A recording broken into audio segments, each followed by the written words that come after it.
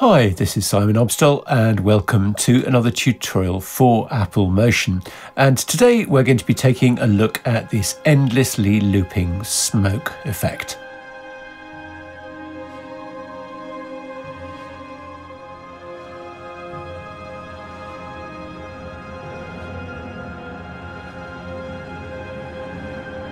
Now, I've done endlessly looping tutorials before, but I don't think I've yet done one that actually uses live action, as in this case.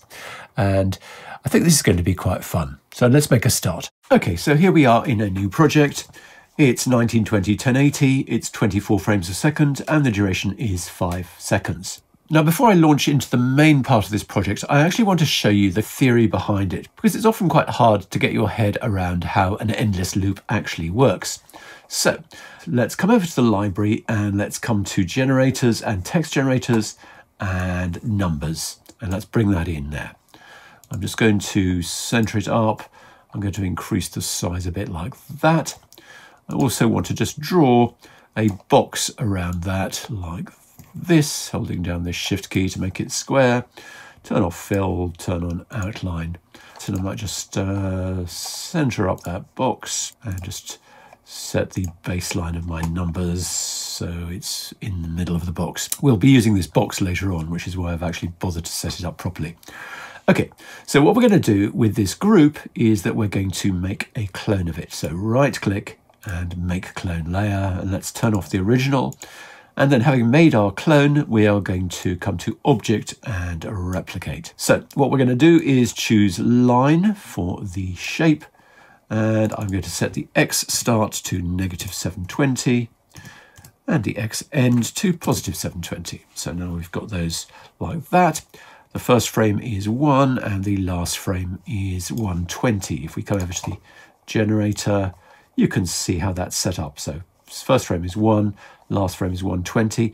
If for some reason this is not looking like this, you do need to make sure that you come over to the motion settings and time and make sure that frame numbering starts from 1 rather than from 0. So what we're going to do is we are going to come over to the replicator and we are going to use the source frame offset and we're going to set that to something like 12. I just want you to note that in its wisdom, Motion decided to change that number from a 12 to an 11 behind my back, but I'll sort that out in just one second. Sorry about that. So now I want you to look at what happens with the numbers. This second box starts at frame 12, that's because we've got an 11 frame offset. I actually wanted a 12 frame offset, so let's set that to 12 frame offset.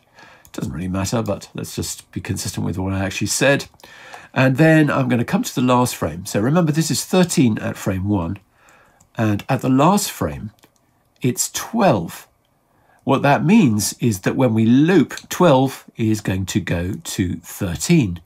Let's look at the next box. This is 25, so come to the end, and this frame is 24. So 24 is going to 25 and so on. So the next box is 37 and the last frame is 36. And you can guess 48 for that box there and 49 for the start.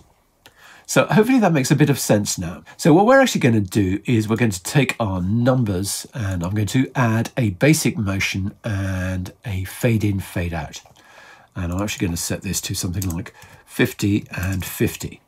So this is what we're actually going to be doing with our smoke element once we bring it in. So this box here is black at the start, so it fades in and then it fades out as you imagine. But all of these other boxes have got their fades offset because their start time is offset. And so this is the principle. So they're actually going to loop back perfectly because of what we looked at earlier. But also this fade is going to allow them to appear and disappear invisibly and therefore create our endless loop. So I hope you've understood that principle and let's now turn off these numbers and let's import our smoke. So come to import and import the thing called smoke asset and I will give you a link to this. Now, I'd like to thank uh, Sol Friedman for very kindly shooting this smoke for me. It's a really nice asset. So I'm going to come to scale and set this to 75%. I also come to want to come to this group and I want to set it to fixed resolution and 800 by 800. Now I also want to move this rectangle up above the smoke and I want to set its size to 800 as well. So then let's come over to our replicator where it's all going to happen. So we don't want this spread across the x-axis, we want it spread on the z-axis. And we don't actually have the z-axis accessible at this point, and that's because we need to turn on the 3D switch. So let's do that. You can see immediately we get the z as an option. So I'm going to zero out that x and this one here, and I'm going to set this z value, the endpoint, to negative 800.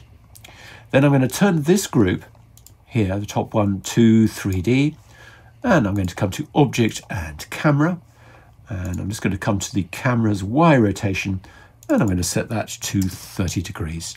And what I'm also going to do actually while I'm at it is I'm going to come back to the project properties and I'm going to set the width to 1080 so we've got a, a square like this and center everything up.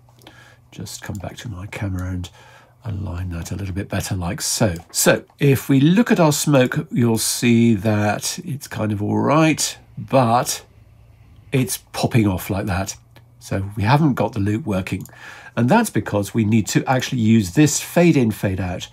And let's just move that off the numbers and onto the smoke asset. Just to remind you, we had a fade in and fade out time of 50 frames.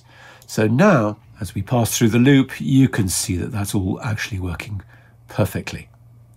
And this will go on forever. So let's just do a little bit of tidying up here. What I want to do is I want to come to the smoke and color and hue saturation and just kill all the color out of it like so. Then let's also come to filters and masks and keying and luma keyer. You can see that's already actually made it a little bit more interesting if I toggle that on and off because we're actually seeing through the individual panels because they've now got transparency. I might just adjust this a little bit by pulling this one over and this one over like this. It would be so nice if Apple actually gave us some numbers to do this, but you know, they're not going to do that. That's looking a little bit more dramatic. So then I also want to come to this group here and filters and color and levels. I want to come to the red channel and bring it way down like that.